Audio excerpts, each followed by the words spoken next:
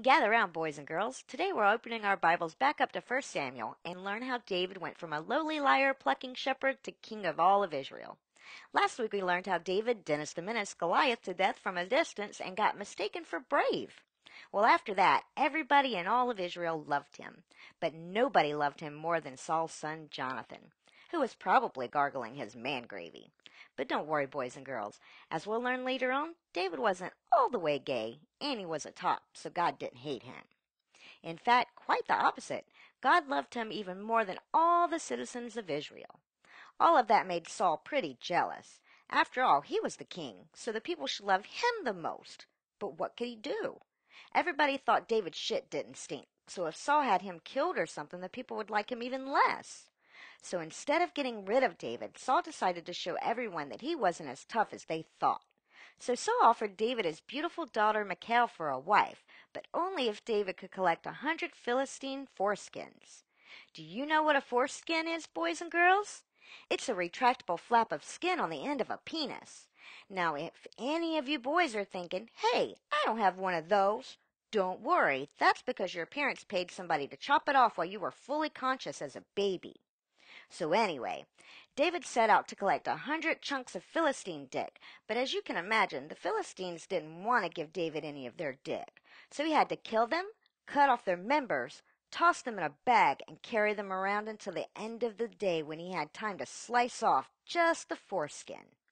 Now, most people would hate running around and randomly killing people just to slice pieces of their dicks off, but David was having so much fun with it that instead of bringing Saul 100 foreskins, he brought 200 and traded the giant bag of necrotic dick flesh for Saul's daughter.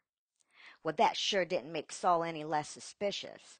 Now, all the people were singing songs about David being ten times more of a badass than Saul, so the king decided to kill his young rival. But wouldn't you know it, Jonathan warned him, so he was able to escape before Saul showed up. So Jonathan took David to the edge of the kingdom, gave him some food and a rusty trombone, and said goodbye. Well, David decided to hide in a cave, but pretty soon Saul heard a rumor that he was there, so he took a group of people out to murder him for daring to be more beloved. So they set out into the mountainous regions to find David, and while they were looking, Saul had to stop and take a shit. Well, wouldn't you know it? He stepped into David's cave to do his business. So while he was straining, David snuck up on him and cut off a piece of the king's cloak. But Saul was apparently taking such a loud, raunchy shit that he didn't even notice.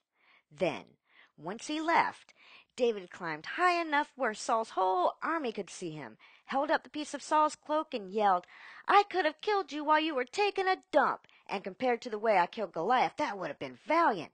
But I didn't, so please leave me alone. Well, Saul did leave David alone, but not because he wanted to. With the war going strong back home, he had to abandon his plans to murder David and go back and be king some more. So David left to live a life of aimless wandering like the Hulk, afraid he might never see his homeland again. Will David ever inherit his throne? Whatever happened to David's wife? And what the hell did King Saul do with the couple hundred wrinkly fetid rings of Philistine dick? Find out the answer to one of these questions, but not the others, next week on the exciting conclusion of the story of David.